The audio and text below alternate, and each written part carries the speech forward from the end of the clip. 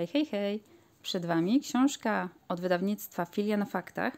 Będzie to jej recenzja i jest to umysł mordercy Maxa Czornija. Czornyja. I wiecie co? Ja pierwsze jak zobaczyłam ten nagłówek Ted Bundy, e, to od razu przypomniało mi się e, taka rodzina Al Bundy. Nie wiem czemu, ale niektóre sytuacje były tak troszeczkę w taki żartobliwy sposób napisane i, i mroczny jednocześnie, że po prostu czasami mi się e, ten serial tutaj przypominał. Tak oglądałam.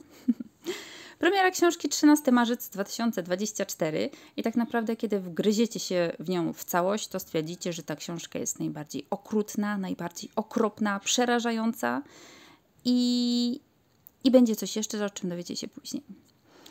Ja powiem Wam, że nie wiem jak Wam, ale ja mam takie odniesienie, że książki na faktach przeważnie czyta się najtrudniej, ale e, no akurat nie tego autora, bo największym plusem tej historii była ta taka lekkość przekazu.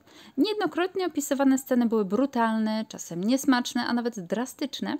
Jednak kierując się tym, że to sam Ted Bundy nam o nich opowiadał, cała moc bólu osób krzywdzonych została tak trochę, wiecie, no stłumiona, no bo on to przekazywał, tak? Także tak naprawdę nie wiedział, jak oni cierpieli. Nie znając słownego cierpienia postaci, mogliśmy e, mniej intensywnie je przeżywać, a nawet traktować jako takie rzeczy zmyślone, jak twierdzi sam Ted. Często bowiem podkreśla, że aby historia miała prawdziwy smak, musi zostać podkoloryzowana, lecz w takiej skali, e, której nie chciał nam zdradzić, ale domyślaliśmy się, że coś tu mogło być nie tak. Mm, swoją opowieść tutaj rozpoczął od dzieciństwa, w którym chciał być taki jak jego ojciec dosyć twardy, arogancki i nie mający sumienia. My tego ojca tu poznamy, także nic ciekawego Wam powiem. W sensie, że nie chciałabym takiej osoby nigdy spotkać. No, to może bardziej pod tym kątem. Śmierć matki jest również opisana jakby tak trochę przez mgłę. E, później ta ucieczka z rodzeństwem. No, tak jakoś było to bardziej opisane, opowiedziane, aniżeli e, branie się za szczegóły, bo szczegóły miały nastąpić troszkę później. I w życiu najbardziej bolały go docinki szkolne. Jak wiadomo, kiedy dzieciaki na kogoś się uprą, to po prostu łatwo nie odpuszczą. To chyba w każdej szkole jest. No i następnie przechodzimy do chwili tej bardziej obecnej, gdzie mm, opisuje, jak mordował młode kobiety, a następnie tłumaczy nam, od czego to się zaczęło. Przy czym podkreśla, że najbardziej łakomy kąsek ciągle zostawia nam na później. No i my na to później najbardziej czekamy, chociaż im jesteśmy jego bliżej. Tym jest po prostu straszniej, straszniej i tak... Yy, jakby to Wam powiedzieć, nie tyle mroczniej, co niebezpieczniej. Może to dziwne, ale on zwyczajnie po części chce opowiedzieć swoje życie pod kątem zrozumienia jego postępowania. Wiesz, że każdy, kto go badał, starał się znaleźć ten czas, w którym coś się nagle u niego zmieniło, co sprawiło, że się zrobił taki, a nie inny. Czy jednak w ogóle coś takiego istnieje? No i co tak naprawdę sprawiło, że on krzywdził innych? Dowiecie się. Ale czyżby za wszystko odpowiedzialna była tylko cielesna przyjemność? No, to był taki wątek dosyć ciekawy, powiem Wam.